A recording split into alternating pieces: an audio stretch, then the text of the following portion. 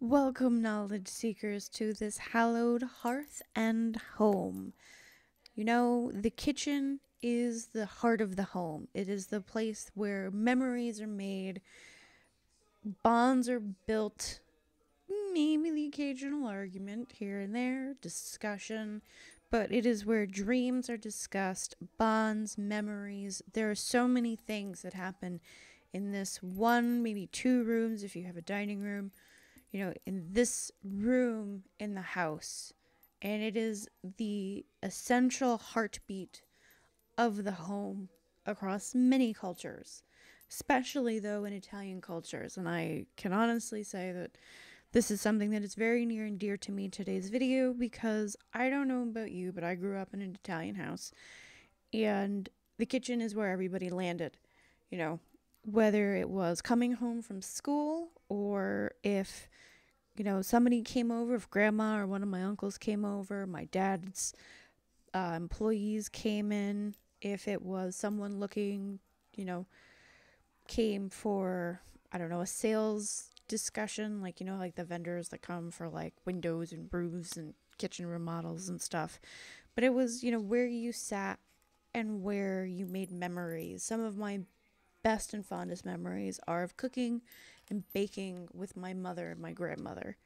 Um, and then, you know, it's also a place of chaos because it's where everybody is trying to grab things, get out the door. You know, maybe you have dogs and cats or pets that are running around. They need to be fed. They want to be walked. They have a place in the kitchen. They're just looking to get food.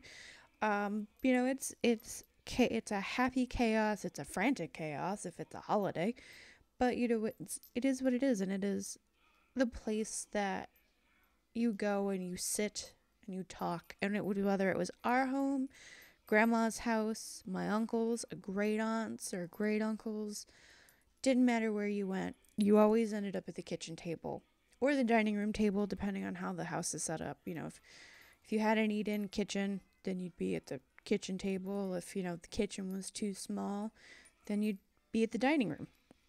And that's just how it was. There was always something on hand, you know, that was homemade or store bought. That, you know, the food was plentiful, was always available, always.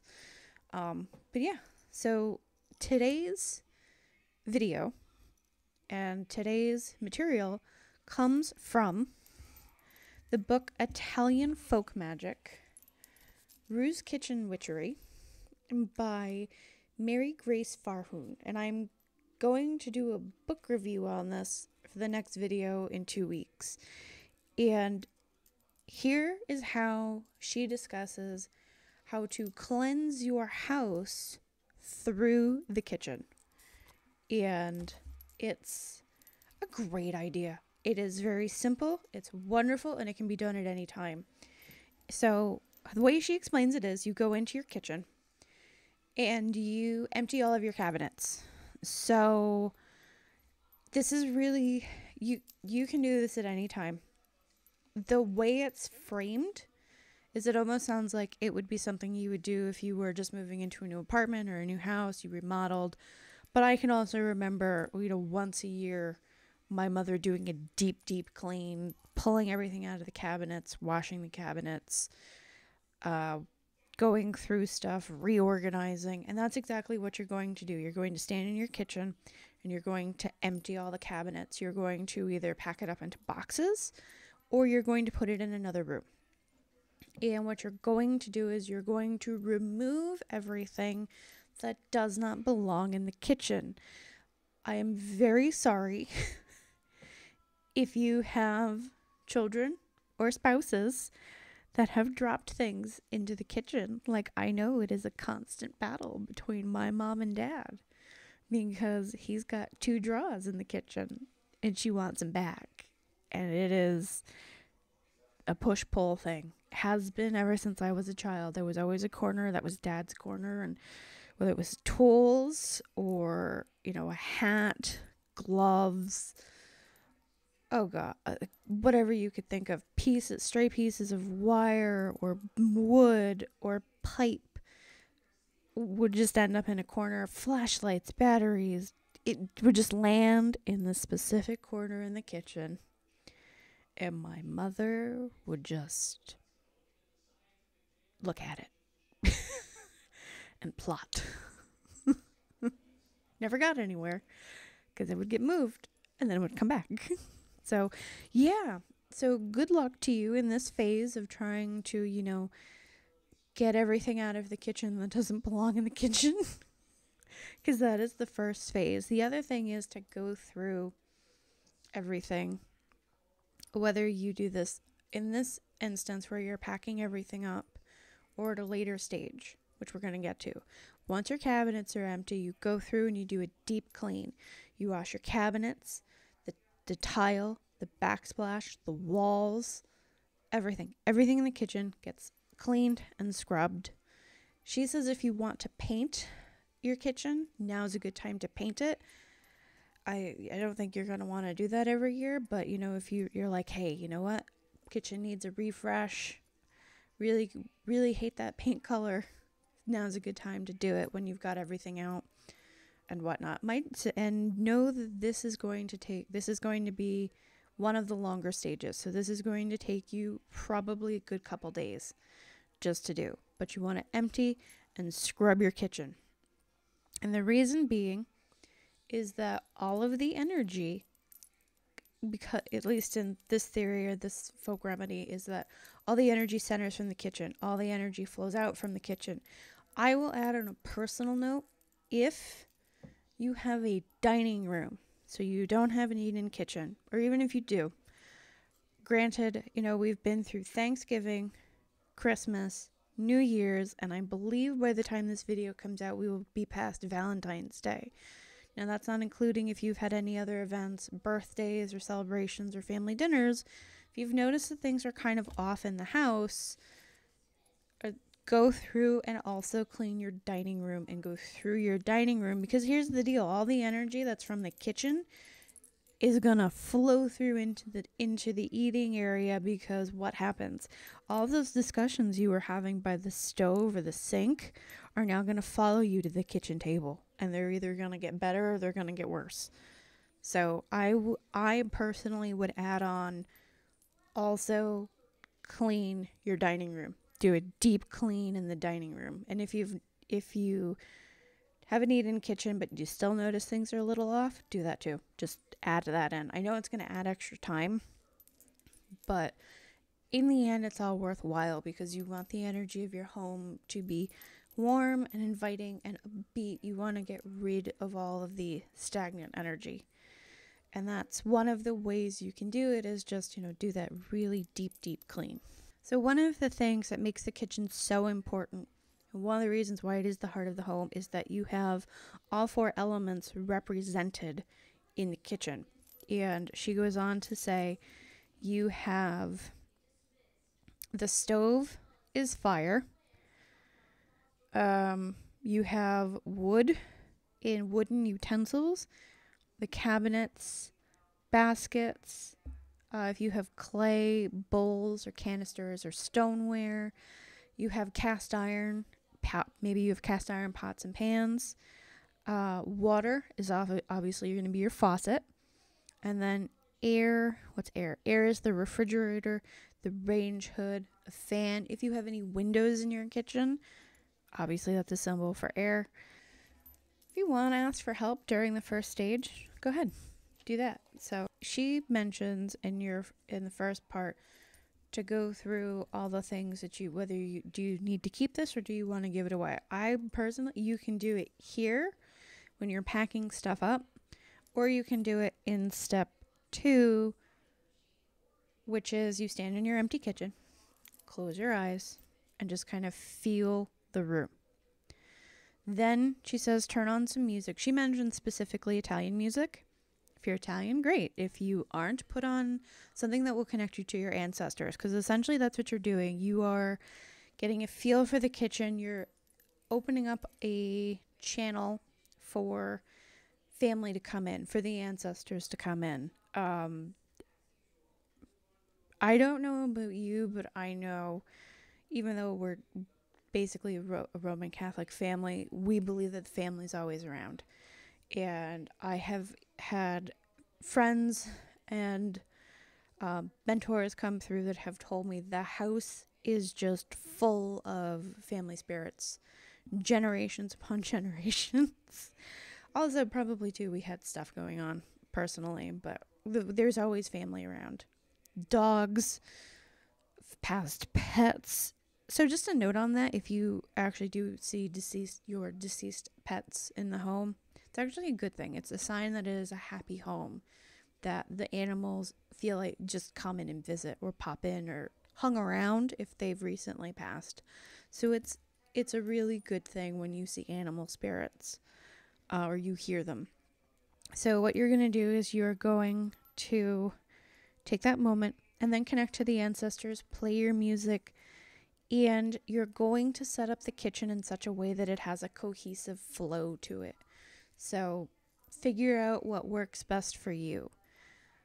If it's a new home, I kind of feel like you're going to have you're going to be redoing this a couple times um because you're not sure what the new flow is so you're probably none that you're going to be cleansing your kitchen you're going to be reorganizing it if it's a remodeled kitchen, same deal. It you know, it's a new flow. You maybe aren't quite sure what's going to work yet, but regardless, set up and set it up on how you think everything's going to move together because basically what you're doing is you're setting it up for the energy to move a certain way and move through the house and a nice kind of even keel, even flow. Um, so then once everything's put away, take a moment, stand center, and just feel the energy. Does it feel good? Does it feel lighter? Then that means you've kind of cleared away all that extra energy. And that's good. She says that kind of light energy that you feel is you creating a bond with the kitchen and the kitchen spirits. To me, it's more of like you're just creating that bond with the, I guess, the house or your spirits of your ancestors. Um, because that to me would be i yeah that to me would be more what it is just having baked with my grandmother or making recipes that my father's mother used to make or that he enjoyed as a child i feel like it invokes those those spirits to come forward and to come with you and even if it's not stuff that they've never that they've made it's just that idea that you're in the kitchen you're working with your hands or you're doing things that they would do, and there is that connection across the ether. All right, so now part three is you're going to bless your kitchen. And uh, you're going to purify it by tossing a pinch of salt in every corner. You can use, I personally feel you can use any salt. Um, you can use table salt, sea salt, Himalayan salt. Some people prefer either sea salt or Himalayan salt. Use what you have on hand. That's my my perspective. Especially if you're working in a kitchen, you're probably going to have table salt, maybe kosher salt or sea salt. Use that. And then what you're going to do is to put a pinch in every corner. Then you're going to take a broom and you're going to sweep it up, put it in a pile, put it in the dustpan, and then you're going to toss it out the back door. So the way she says is you sweep from the corners in. So you're going to want a pile and kind of the best approximation of the middle of the room that you can. Um, so you're probably wondering why I was waving around a lemon, some cinnamon sticks, and some cloves. So here comes the really easy part because this is all you need. Almost roughly all you need for how you're going to do your cleanse. So you're going to need a two quart pot this is two and a half. I couldn't find the two quart. Water. I don't have a pitcher of water because I didn't want it. Be my luck, I'd knock something over onto my laptop. And then you're going to put in. See if I can get this puppy open.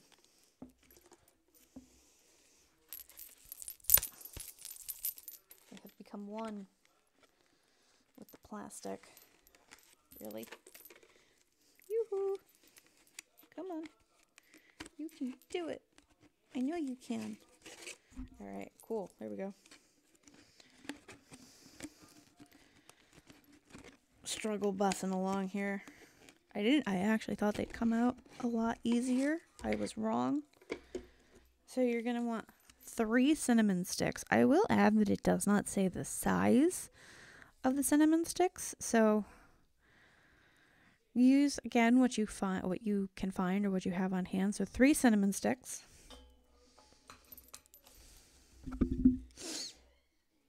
Three whole cloves. I have more than three in my hand. I really wonder if it matters. We'll be exact. we'll be exact for the first time. So three cloves. And then I believe you're going to peel the lemon and you're going to throw it in. You're going to want a teaspoon of sea salt and a lemon cut in half. So yeah, cut this in half and you're going to basically fill fill the pot three quarters of the way with water, bring to a boil, and then lower the heat and allow to simmer for one to two hours. Then you're going to use this. The smell is supposed to be what cleans the house. So it's going to be the smell of it wafting throughout. And then what's also really nice is you take, you let the mix cool once it's done, pour it into a spray bottle, and you can now use it to go throughout the house and spray into the corners of every room. And what's really nice about doing this versus maybe other smudging methods, um, say with like Florida water, this doesn't have any alcohol in it, so you it won't stain. Because that is one of the things that uh, Florida water I think has an alcohol base or does have some alcohol in it. So you do have to be careful when you spray it around fabrics and furniture that it might, you know, it might stain. The other really good thing about using a water based or a liquid smudge is that even though I showed you how to do, you know, the spot cleaning for a certain room using sage, um, if you have someone that is allergic to smoke, is an asthmatic, has breathing problems, whatever, this is a great way to get around that.